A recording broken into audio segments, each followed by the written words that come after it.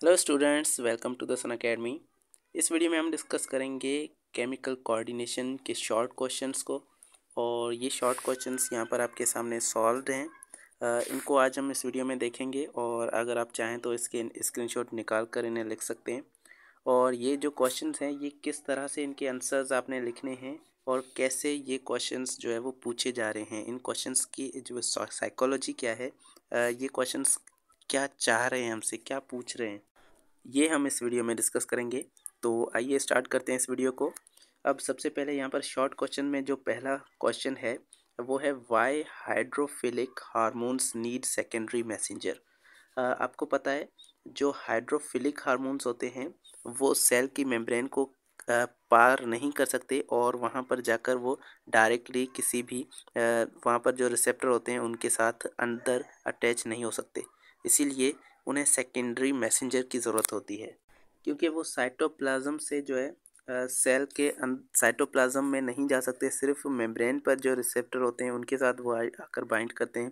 तो इसीलिए उनके पास उन्हें एक ऐसा सेकेंडरी मैसेंजर चाहिए, एक ऐसा मॉलिक्यूल चाहिए जो उनका मैसेज उनकी इन्फॉर्मेशन जो है, वो न्यूक्लियस तक लेकर जाए।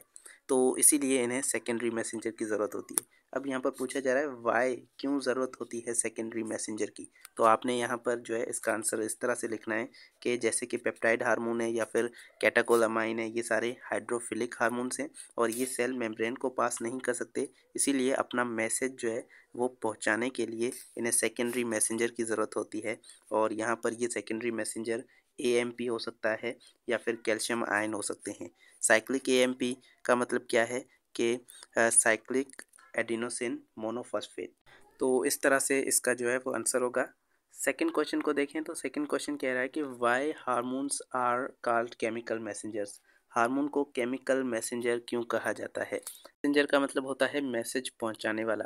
तो hormones are called chemical messenger because they transmit signals between the cells and tissues वो सेल और टिश्यूज़ के बीच में सिग्नल्स को ट्रांसमिट करते हैं। तो जो सिग्नल को एक जगह से दूसरी जगह तक सिग्नल को ट्रांसमिट करता है, उसे हम मैसेंजर ही कहते हैं।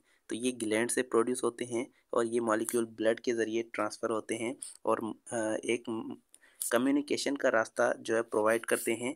मैसेज जो है वो एक ऑर्गन से दूसरे ऑर्गन तक, एक टिश्यू से दूसरे टिश्यू तक ये मैसेज को ले जा रहे हैं और ये केमिकल के फॉर्म में उस मैसेज को ले जा रहे हैं। इसीलिए हार्मोन्स को केमिकल मैसेंजर कहा गया है। तो इसका आंसर यहाँ पर ये है। थर्ड क्वेश्चन को देखें तो why posterior pituitary is called neurohypophysis posterior pituitary को न्यूरो हाइपोफाइसिस क्यों कहा जाता है?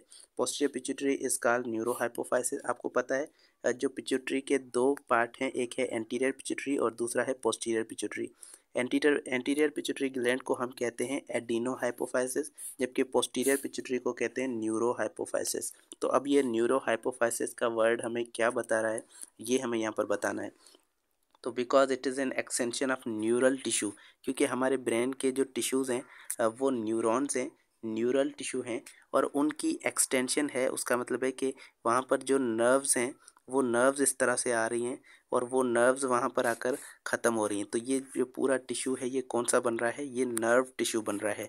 तो इसीलिए ये जो पार्ट बन रहा है, ये न्यूरल टिश्यू का है। न्यूरल टिश्यू की छोटी सी एक्सटेंशन है ये हमारा पोस्टीरियर पिचुटरी इसीलिए इसको न्यूरो हाइपोफाइसिस कहा जा रहा है। It store and release oxytocin and vasopressin vasopressin जो है, ये एडीएच को कहा जाता है। तो ये दो हार्मोन को रिलीज़ करता है, ये भी आपने साथ में ऐड कर देना है।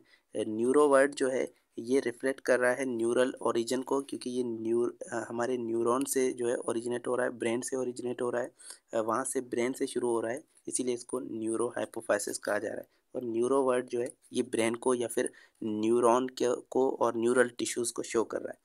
उसके बाद है, enlist hormones of anterior pituitary तो ये बहुत सिंपल है, आपकी बुक में जो हार्मोन्स लिखे हुए हैं एंटीरियर पिचुटरी से जो भी हार्मोन्स रिलीज़ हो रहे हैं ग्रोथ हार्मोन है और थायराइड स्टिमुलेटिंग हार्मोन है, इनका थोड़ा सा फ़ंक्शन भी यहाँ पर जो है, वो डिस्क्राइब किया गया है।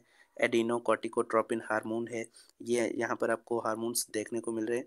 उसके बाद फॉलिकल स्टिमुलेटिंग हार्मोन है ल्यूटिनाइजिंग हार्मोन है प्रोलैक्टिन हार्मोन है और मेलिनोसाइट स्टिमुलेटिंग हार्मोन। तो ये जो जो भी हार्मोन्स हैं ये हमारे एंटीरियर पिचोट्री से आ रहे हैं और इनका थोड़ा सा फ़ंक्शन जो है वो आपने यहाँ पर डिस्क्राइब कर देना है। तो ये इसका आंसर हो जाएगा। उसके बाद नंबर फाइव है। क्वेश्चन नंबर फाइव कह रहा है कि why pancreas is called exocrine and endocrine gland pancreas को एक्जोक्राइन और एंडोक्राइन, दोनों ग्लैंड क्यों माना जाता है?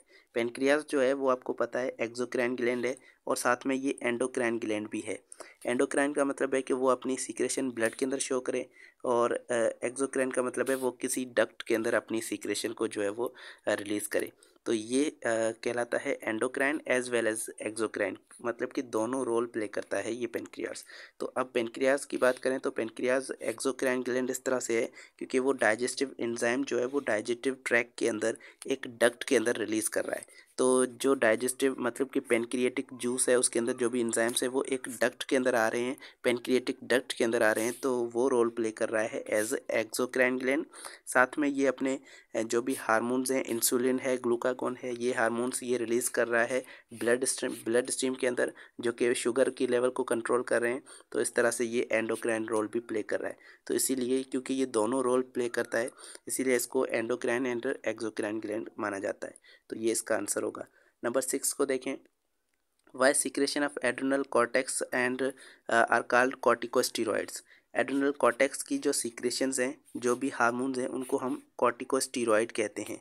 तो ऐसा क्यों है? इसको कॉर्टिकोस्टीरॉयड का नाम क्यों दिया गया है एडनल कॉटेक्स की सीक्रेशन को? तो the secretion of adrenal cortex are called corticosteroid because they are steroids produced by adrenal cortex ये वर्ड जो है स्टीरॉयड वर्ड शो कर रहा है कि ये जो भी हार्मोन्स हैं, ये सारे स्टीरॉयड हार्मोन हैं। इसका मतलब है ये किसके बने हैं? लिपिड्स के हार्मोन बने हुए हैं। और कॉटिको जो है, ये शो कर रहा है एडनल कॉटेक्स को। कॉर्टेक्स का वर्ड और ये स्टीरॉयड का वर्ड ये दोनों मिलकर ये कॉर्टिको स्टीरॉयड का वर्ड बना रहे हैं। ये जो है स्टीरॉयड्स हैं जो कि प्रोड्यूस हो रहे हैं। ये हार्मोन जो है इनकी नेचर स्टीरॉयड है और ये एडनल कॉटेक्स से प्रोड्यूस हो रहे हैं। इसीलिए इसको कॉर्टिकोस्टीरॉइड कहा जा रहा है।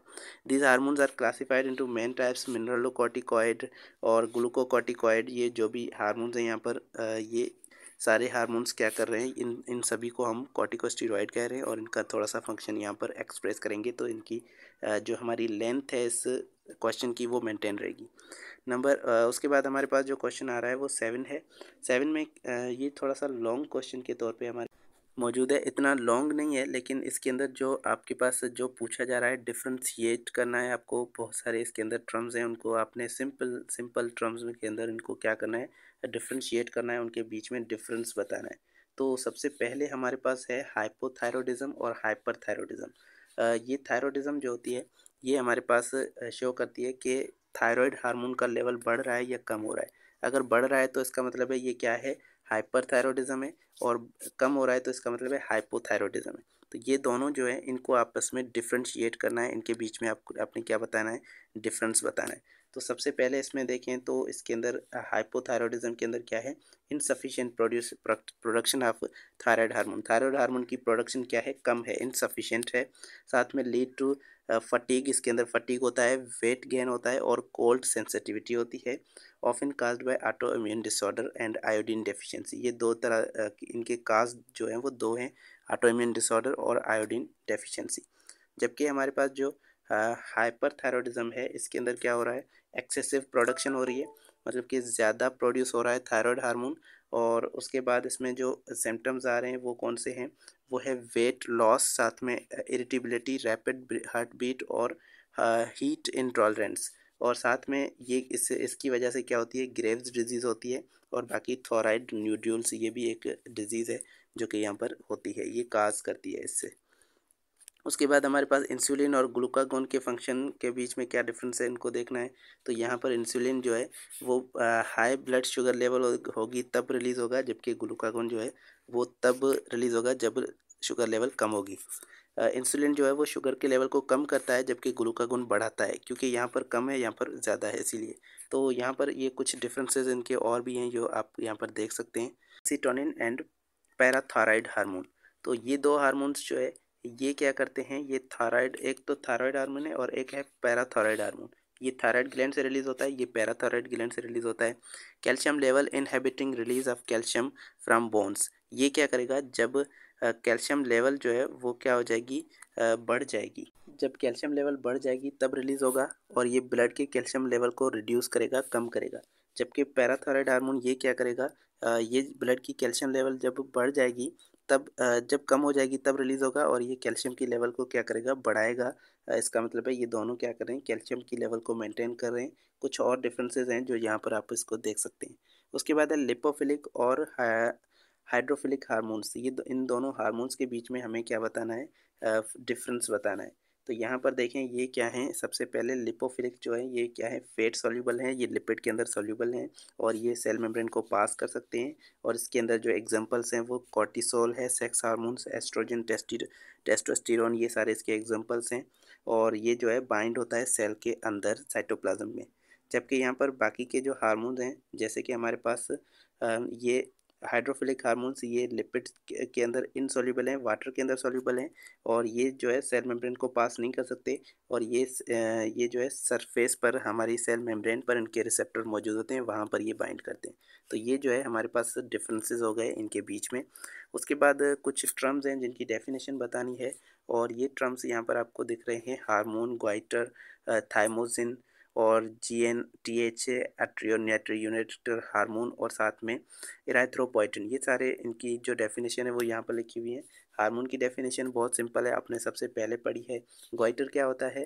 गोइटर थायराइड की जो है थोड़ी सी इनलार्जमेंट हो जाती है आयोडीन की डेफिशिएंसी की वजह से हमारे पास थायराइड जो ग्लैंड होता है वो थोड़ा बड़ा हो जाता है, उसे हम गोइटर कहते हैं।